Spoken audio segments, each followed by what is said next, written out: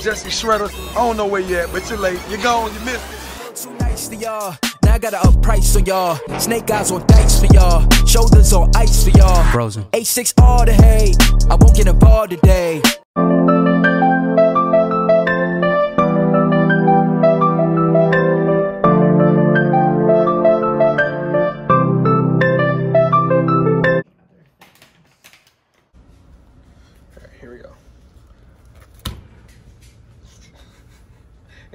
A block of mac and cheese. A block of mac and cheese. Ew.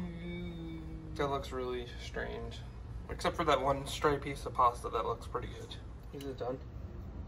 Mm, no, needs like another minute or Okay, so I'm not gonna taste it until it's done. I didn't tell you to taste it. I said to get a video. You're doing progress, aren't you? No. I'm about to try this uh, Trader Joe's. What is it called? Vegan mac. Vegan mac. You got it.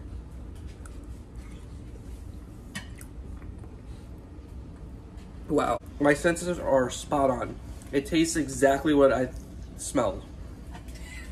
It smells sweet, like um, almost like sweet potato or pumpkin. Pumpkin, that's what it is. It's pumpkin. I wonder what the ingredients say. Butternut. Oh, butternut squash. That's what it is. It's not pumpkin. It's but the butternut squash cake.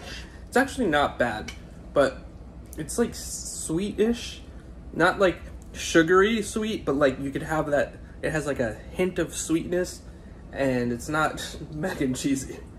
I mean, it has like a slight cheesy taste.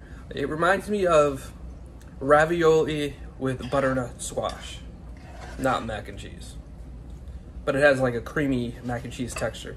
It's not freaking funny. Stop laughing at me. You just can't stop talking. I can't stop talking. Sorry, but that's that's my thoughts on the on that. Let me try, let me try it again. Hold on.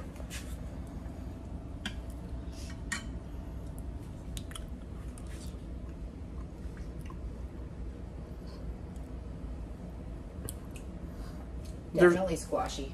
There's no there's no cheesy flavor to it. It just um it, it definitely needs some nu- nooch, some nutritional yeast. Yeah, all you taste is like sw- like a squash, butternut squash. The texture's on point. It's the flavor that's not. Nutritional yeast. Yeah, so I feel like that would be pretty good with like a side of asparagus with some vegan butter, some garlic sauce or something. But by itself, all right. Let's see what. Let's see if the nooch cheese did up.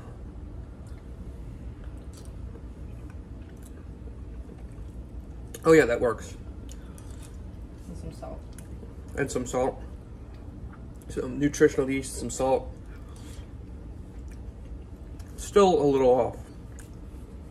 I feel like throwing a little bit of no. Throwing a little bit of um what's the name of that stuff? Violife cheddar would probably make this a lot better. Oh, that rhymed. That's your boy, Jesse Shredder. Leave on a high note. Peace. You're a loser. I completely forgot that I bought this Wayfair cheddar. So we're gonna taste it out first and then we'll decide if we should put it into the mac and cheese. And this I did not get at Trader Joe's. That I did. Dun, dun, dun, dun, dun, dun, dun, dun, dun, dun. Oh. Yeah, you probably need to melt this this- dog before I eat dinner. Come on, Otis. Otis, come on. Oh, God. Good. So I'm not a dog person, but the worst part about walking the dog is after they poop and you get that wind, you get that whiff. Gross. God, I love cats. I love cats. You just poop in a box. Be done with it.